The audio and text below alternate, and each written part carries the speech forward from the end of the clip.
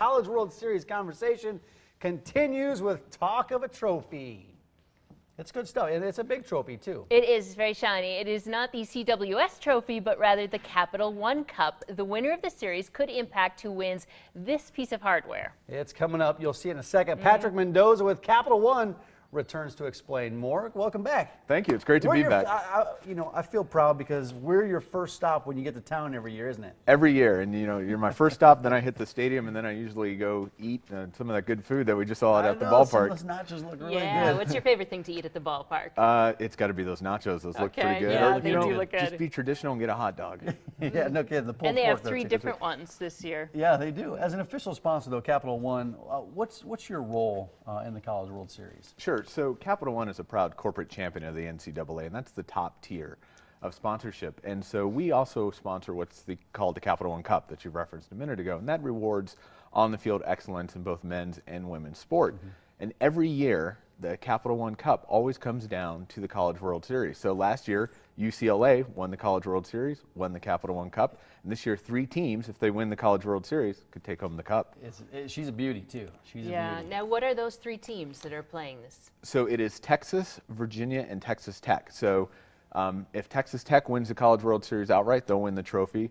Um, Texas and Virginia need a little bit of help. They need some help in the track and field championships, which are taking place right now. Mm-hmm.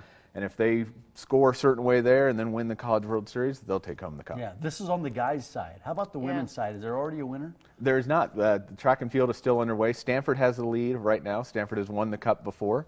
Um, so they're going to be hard to overtake. This is uh, you. You've done this a number of years. Um, what's the fan reaction to this cup? Do, do you see these fans really getting into this because it's a pride thing? I would think. It's a huge pride thing. So, you know, I'm a big college sports fan myself. I know you are as well, Mike. You know, fans just love to get involved. We see a lot of it on the social sides, on our Facebook page, uh, Facebook Capital One Cup.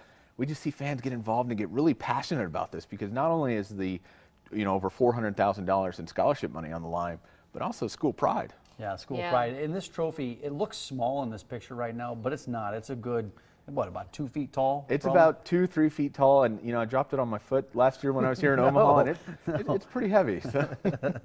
Uh, Now, you guys have a fan zone down at the CWS. What's involved there? Sure. So we are also sponsors of the uh, Fan Fest, aptly named Capital One Fan Fest. See some pictures there on the screen. We let fans come down and walk in the footsteps of their favorite college athletes. So we have a speed pitch. We'll have the radar gun out there. You can see how fast your uh, fastball is. A How lacrosse fast is your fastball? Oh, it's terrible. I, I was a lacrosse baseball player. So. do you participate? I mean, do you, you get some off time? Do you play some of these games down there? Of course there? I do. So I really like to get involved in, as, as I mentioned, I played lacrosse. Um, also, I like to try to bring out my inner Doug Flutie and play a little football there. Uh-huh. My favorite thing, though, because as I mentioned, we're at the College World Series, Yeah. is the home run derby. So we have a pitching machine, and you get your chance to really hit one over the fence. I saw that. Was that that first picture that we were, we were taking It a look was, at? yeah. Yeah. That's that really looked special. And actually, tomorrow we have Kenny Lofton, who's the former Cleveland Indians, going to be out there, and he's going to be doing a hitting clinic Oh, starting at 12:30. So you can come on down. Oh, there, there it is up on screen. You can come Ask on down. You shall receive. There it is.